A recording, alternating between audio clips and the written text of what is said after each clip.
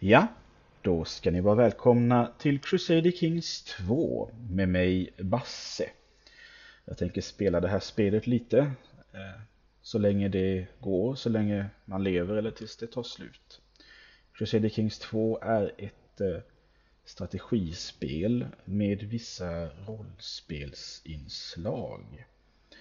Eh, man styr en ett i det medeltida Europa och målet är att den här ätten ska för det första överleva och eh, helst också eh, utöka sin makt. Och det kan man göra på lite olika sätt. Eh, givetvis genom krig och erövring som i många andra strategispel. Men också genom giftermål, strategiska allianser och lite annat. Ett ganska komplext spel som jag inte tänker förklara här och nu utan jag tänker helt enkelt börja spela det. Jag spelar det här med två DLCs. Eh, Rule Designer som tillåter mig att göra en egen härskare, vilket jag kommer att göra. Och så kör jag med Way of Life DLCn. Som eh, adderar lite rollspelselement till det. Man kan styra sin karaktärs attribut lite mer. Här har vi då, jag tänker spela som Sverige. Eh, från år 1066. Eh, Sverige då, eh, kung Stenkil. Eh, Stenkil var en ett, verklig ett. Men jag tänker inte spela som Stenkil, jag tänker göra en egen, en egen kung. Och jag tänker göra en kung, inte drottning, eftersom i det här spelet så har drottningar lite minus. Vasallerna man har under sig är lite mer fientligt inställda till kvinnliga härskare.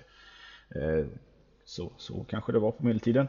Och jag är inte intresserad av att börja spelet på, med eh, negativ eh, vasallåsikt om min kung. Det är svårt nog som det är.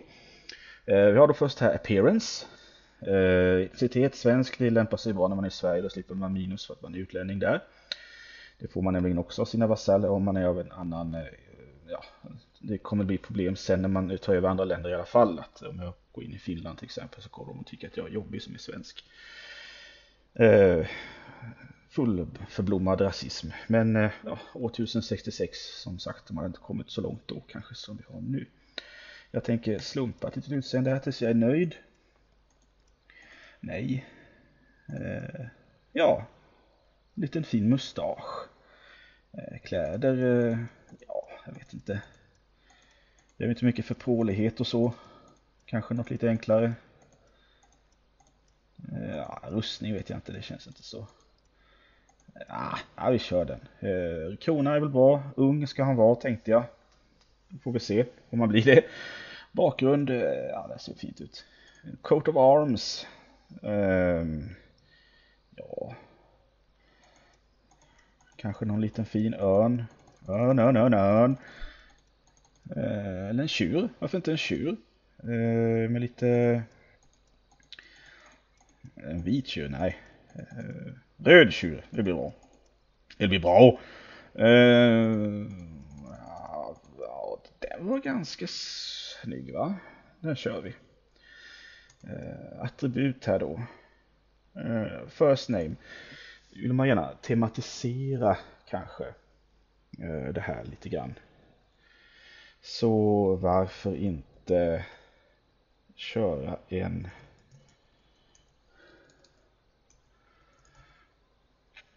en liten tribute till uh, Terry Pratchett.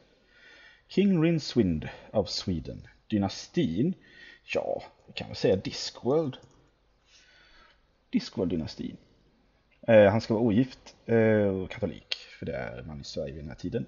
Startålder här 16 år, max är 50. Eh, och vi har då, eh, man kan eh, höja och sänka sina värden här. Ehm, och som ni ser om jag ökar upp hans skills så blir han lite äldre. Och ju äldre man är desto större risk är förstås att man dör för att man levde inte så himla länge på den här tiden. Ehm, så det är inte, det, man kan börja vid 50 års ålder, det går. Eh, men jag brukar inte göra det, jag brukar försöka vara lite yngre.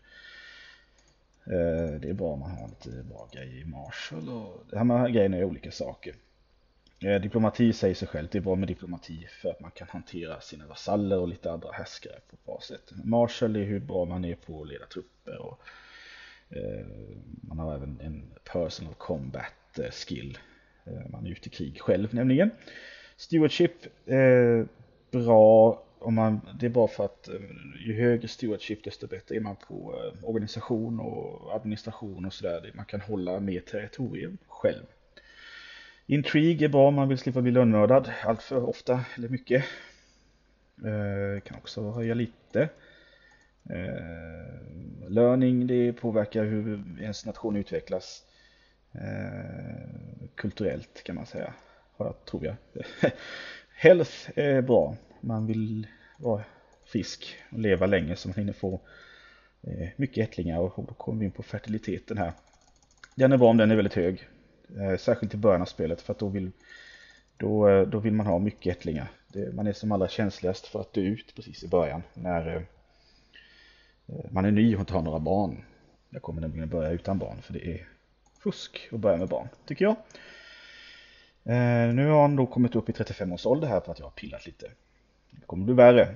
Education här har vi vad han har för bakgrund. Nu har vi lite massa olika här. De här om vi tar till exempel att han är Elusive Shadow.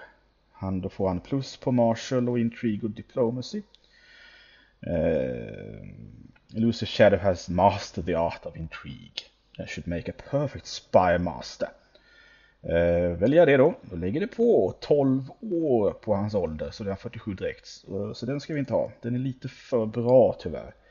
Vi ska ha någonting, Eh, jag vill ha någonting som är bra för eh, eh stewardship, tänkte jag. Eh, Thrifty Clerk, eh, eh The Indurgent Wastrel här, det, det är sådär. Och de här längre ner här är jättebra. Midas Touched, den är jätte, jättebra. Men den är, då blir man också 15 år äldre. Så Thrifty Clerk får han bli. Får han lite bättre stewardship. Eh, då kan vi kanske till och med dra ner den något. Eh, ner något. Och sen har vi en rolig sak som heter traits. Eh, egenskaper kan man säga. Det är eh, Lunatic kan man vara. Det är eh, eh, uh, This character is stark raving mad. Uh, ens vasaller kommer att tycka mindre om en. Uh, men det ger faktiskt minus 5 så att han blir lite yngre om man ger honom att han är galen. Uh, Process gör ingen skillnad i ålder. man får bättre combat skills. Men nej, Eh, wounded och maimed och så här, det gör att man har sämre hälsa och då löper man större risk att dö tidigt och det vill jag inte. Så eh, vi kommer väl att eh, helt enkelt hoppa de här. Drunk är inte heller bra för då får man sämre stewardship. Eh, jag har lite mindre, jag säger man kan ha klubbfot får man med marshall och combat skills. Eh, attraction opinion är något försämrad. Eh, hairlip, hunchback, lisp, stutter. Eh, attractive, alltså, ja, kan vara ugly. Det tänker jag faktiskt vara. Han är ful, den här eh, Rinswind. Eh, geni är jättebra va. Det är dessutom eh, någonting man kan eh, som är, kan ärvas till ens ättlingar. Det kan även för övrigt eh, vissa av de här eh, fysiska karaktärsdragen också göra. Uh, inbred är inte jättebra att vara. Uh, celibat vill man inte vara. Får man inga ättlingar och då är det svårt att föra ätten vidare. Uh, så han är ful. Då är han nere 26 år. Kanske att han kan ha en hairlip också. Eh, vi kör den. Den är 22 års ålder. Några två negativa traits kan man säga. Han är ful och hairlip. Då har jag råd att lägga till en bra trait också. Och då finns det lite olika förstås. Eh, temperate. Det är bättre stewardship och church opinion och så. Eh, charitable. Då får man bättre diplomacy. De här två eh, ger ju minus på diplomacy. Så det skulle kunna vara bra att balansera ut det. Men då har vi liksom ett nollsummespel nästan. Eh, diligent är jättebra. Eh, Vissa av de här är jättebra för ens vasaller. De tycker bättre om en om man är kind till exempel och om man är eh, brave. Eh, Gregarious är jättebra. Då kommer ens vasaller också tycka om en. Ambitious är bra och den var rätt så billig. Den är bra om man är härskare. Den är värdelös hos ens vasaller. Eh, för man vill inte ha ambitiösa vasaller. De kommer bara försöka ta över makten. Men jag tror att vi kör så här med den här kungen. Och så ska han vara i Sverige då. Han är independent och det här är en eh, difficulty på 49% eh, normal. Eh, så vi kör väl igång eh, själva playen. Dun dun dun! Kommer det ladda här så kommer vi få upp en massa massa saker vi måste göra direkt i början. Eh, spelet är nu pausat. Jag kommer att blåsa över till den här vyn. Den är lite tydligare tycker jag. Här har vi då Sverige. År 1066. Det är omgivet av Danmark. Norge. Här uppe har vi lite självständiga landskap eh, som jag tänker erövra. Finland har inte riktigt eh, enats än utan består av eh, separata landskap. Europa som helhet här, vi kan se vi har England, Skottland, Irland har inte bildats, det består av olika grevskap. Frankrike finns, Spanska halvön är lite splittrad. Eh, pågår religionskrig här mellan eh, morer och eh, spanjorer tror jag väl. Eller det som ska bli spanjorer det är ju Leon och Galicien och Aragon och Navarra och så kommer Portugal hamna här så småningom kanske. Det vet man aldrig. Det här spelet ser olika ut varje gång. Vi har Polen, vi har Ungern, Kroatien och så har vi då de två stora aktörerna här. Vi har The Holy Roman Empire och Byzantine Empire. Eh, och så har vi de eh, muslimska rikena här, Fatimid och Seljuk. Och så kommer det ja, diverse saker här ute. Så finns det även eh, här nere kan man vara också, men det, där hamnar man aldrig om man börjar här uppe. Eh, man kan säga generellt när man spelar som Sverige så är det väldigt, väldigt bra idé att försöka vara lirad med Holy Roman Empire. Eh, en massiv, oerhört mäktig eh, kejsardöme. Eh, Eh, som man behöver ha på sin sida ibland. Särskilt typ när Norge och Danmark anfaller. Då är det skönt att ha dem med sig. Eh, vi kan också säga att det finns lite det kommer random events hela tiden i det här spelet. Det finns ett, vissa events som är, man vet kommer vid vissa tidpunkter. Det kommer till exempel komma om, om min ett överlever så länge. En eh, mongolisk invasion härifrån öster som kommer att välla in Eh, Eh, ibland så tar den stopp här någonstans. Ibland så når den längre.